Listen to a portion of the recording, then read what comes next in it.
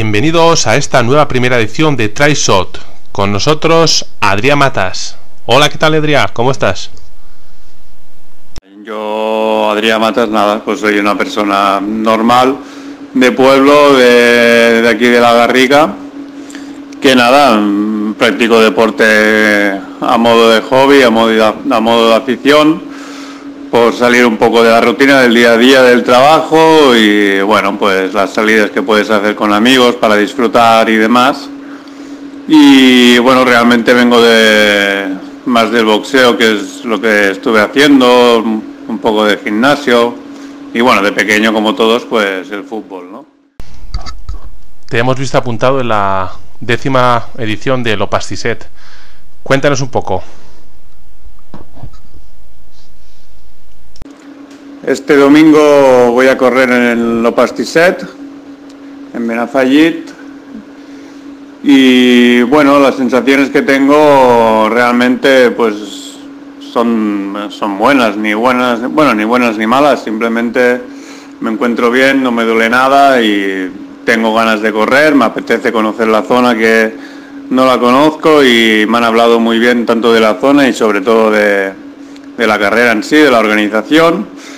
Y lo decidí el domingo a última hora, decidí apuntarme porque por kilómetros y desnivel me coincidía con, con un entreno que yo quería hacer y así que bueno, me animé y me apunté.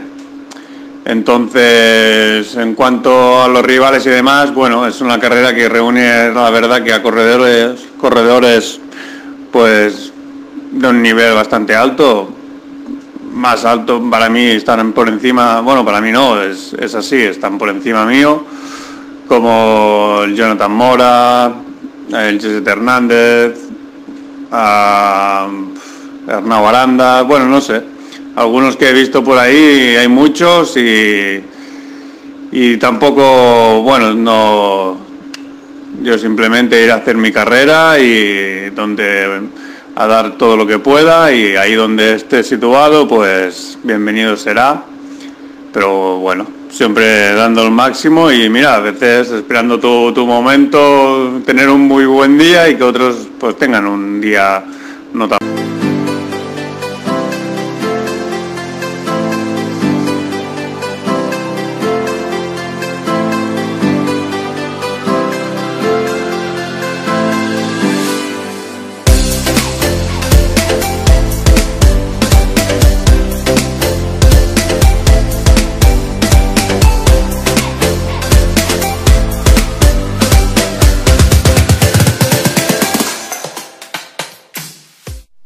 Cuéntanos ahora si tienes entrenador y qué tipo de entrenamientos haces.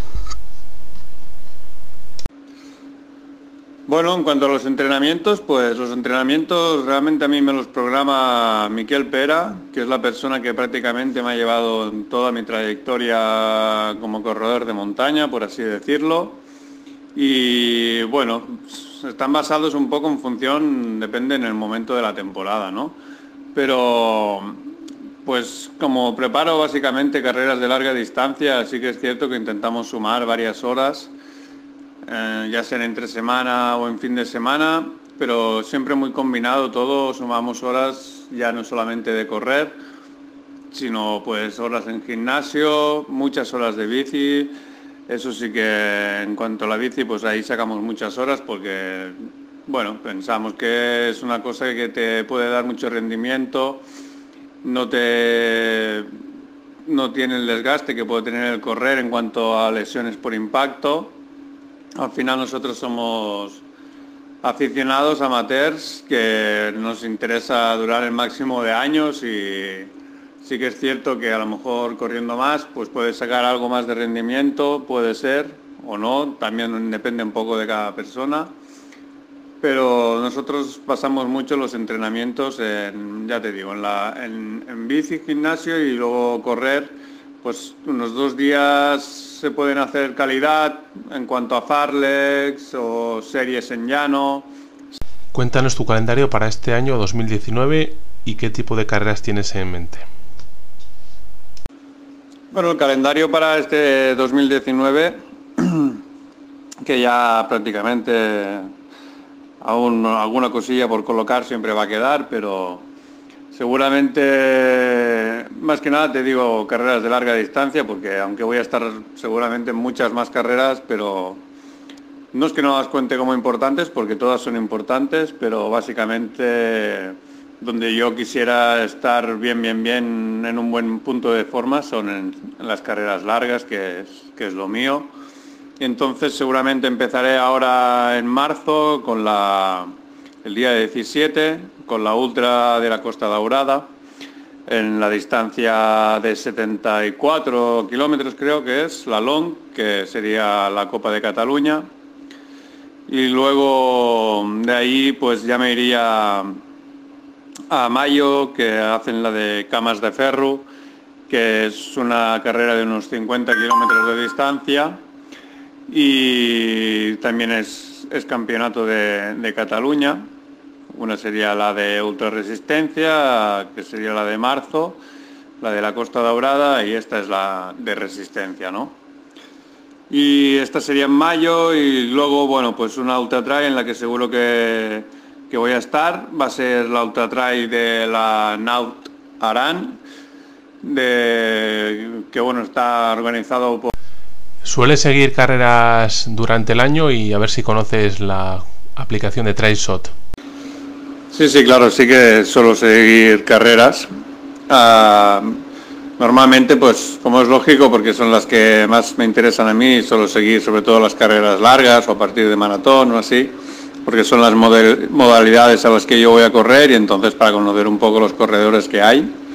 Pero bueno, tampoco es que esté todo el día ahí pendiente, pero bueno, como suelo tener pues todas las páginas de las mismas carreras en el Instagram o en el Facebook o si no a través de alguna aplicación, pues pues voy siguiendo las carreras el fin de semana y siempre hay algún amigo, entonces bueno, siempre estamos un poco ahí al tanto de, de cómo va todo, ¿no?